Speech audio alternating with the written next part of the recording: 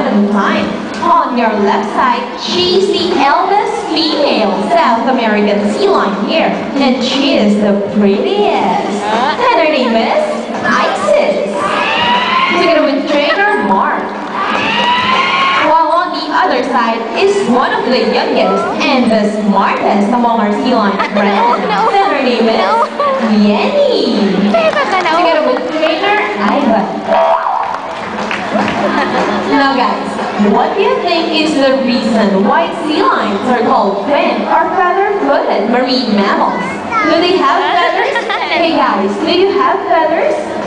No, well it's definitely because of their front flippers, which are shaped like a bird's wings. You know, the term pinnipeds may also be translated as wing-footed, since the flippers will look somewhat like wings. In fact, sea lions appear to be flying underwater as they swim from place to place, right girls?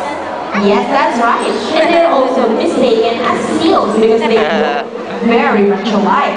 But one obvious difference between a seal and a sea lion is the fact that sea lions have bigger front flippers. And they can also turn their back flippers, something seals cannot do. As a result, they can walk upright while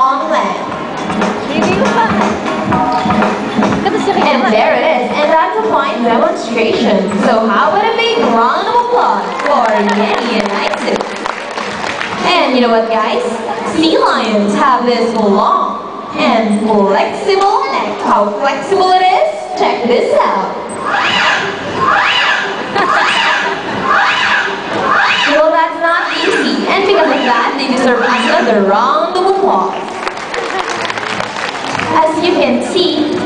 Bodies covered with a thin coat of short horsehair. Their whiskers help the sea lion's sense of touch. It contains nerve fibers which make them smile. I mean sensitive. They may also use their whiskers to aid in navigation or to detect vibration from prey in the water. And their small external ears give them a good sense of hearing both above and below the surface of the water. Sea lions, like many marine mammals, can see well both above and underwater. They have a keen eyesight but no color vision. In the wild, they inhabit waters close to shores, like rocky cliffs with tide pools, and has a preference for rocky beaches. They have an excellent climbing ability. Flippers are stretched out behind their butt, functioning like rudders for steering. And that's their normal swim. Thank you very much, Yanni. Hey, but you know what?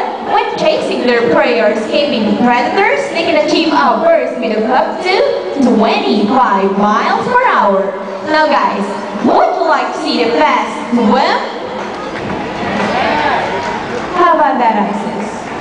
Why no, girl?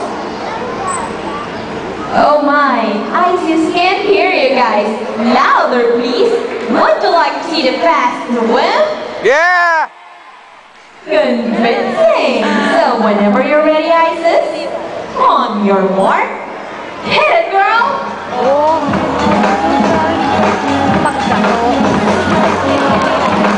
And that is surely the fast swim. So how about a big round of applause for Isis and Yenny? Ah, nyelpit kita kan. Good job, girls. Yes, a round of applause for you. An interesting story about sea lions Ako siya is that the US Navy has trained a few of them to take part in their special operations. They're able to rat hold for up to 20 long minutes and take a dive of hundreds of feet. Abilities that even the best Navy diver would be envious of. And since they cannot be detected by radar underwater, they are taught to recognize and avoid underwater mines. Alright, buddies, are you ready? Attention! Wala sa eyes. Let's march!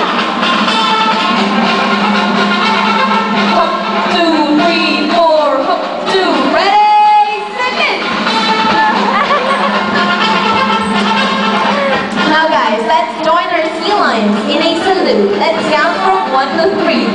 Everybody please salute. And please count with us. Louder please. Now let's start counting.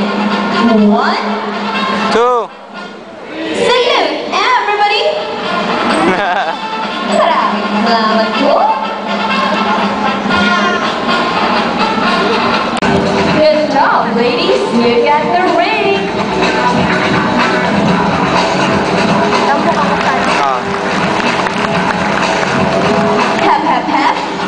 Ué?